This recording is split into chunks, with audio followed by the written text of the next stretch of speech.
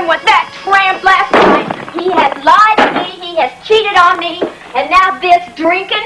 I've had it. Constance, that is enough. Now, that just doesn't solve anything. Well, it sure makes me feel better.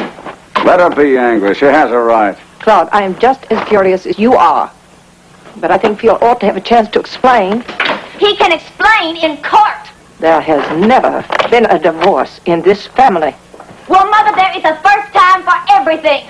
Don't you worry, honey. We're going to get the best lawyers, and they're going to pick his assets clean. You are talking about a scandal.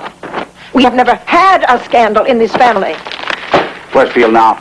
I'm going to find him and deal with him. He's probably still over at the judge's house with her. What are you talking about? You're going to deal with him. Well, he is going to find out once and for all he's never going to hurt my daughter again. Claude, would you please calm down? You accomplish nothing in anger. My granddaddy would have dug out the dueling pistols. Claude, this is not the 19th century. Think. Don't try and talk me out of it. Daddy, when you find him, would you kindly tell him for me that his things are neatly packed and waiting for